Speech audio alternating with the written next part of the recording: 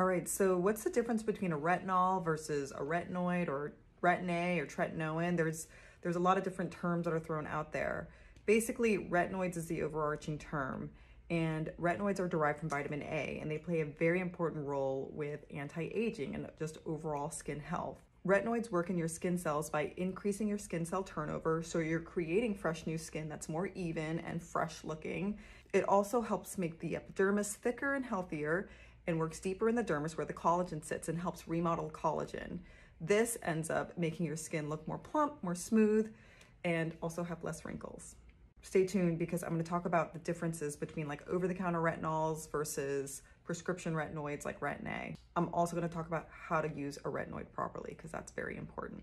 Now that we know what retinoids are, let's talk about the different types of retinoids. These include retinol, tretinoin, retin-A, differin, and I wanted to show this diagram because it shows that retinol has to get converted to tretinoin or retinoic acid, which is the active form of vitamin A. This is what actually works in the skin for anti-aging as well as like anti-acne purposes. Because retinol has to get converted to the more active form, it's not as strong, it's more mild.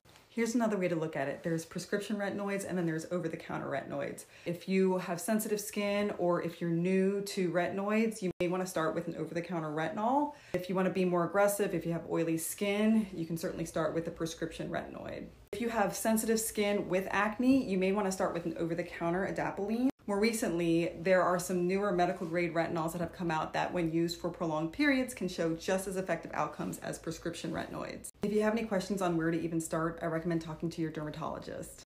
Welcome to my bathroom. Since it's bedtime, let's talk about how to use a retinoid properly. Make sure you wash your face real well and that it's clean and dry. I recommend using just a green pea size amount of the retinoid for your entire face. Because it's not that much, I recommend dabbing it in five different parts on your face and spreading it out evenly. I recommend not getting too close to the eye area just because the skin around the eye is more delicate. Also, for beginners, around the mouth can be another delicate area. And for beginners, I recommend starting out using this every other night for the first two weeks. If your skin does not get too dry or irritated, then try to go up to every night as tolerated.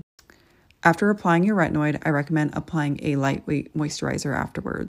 If your skin still feels dry even with you using the retinoid every other night, I recommend switching it up and using the moisturizer first and then applying the retinoid on top. Also, retinoids can make your skin more sensitive to the sun, so don't forget to wear your sunscreen every morning.